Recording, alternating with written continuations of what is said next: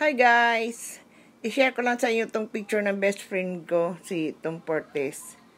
Nung nakarambuan, nasa Amerika lang siya. Nagpadala siya ng picture.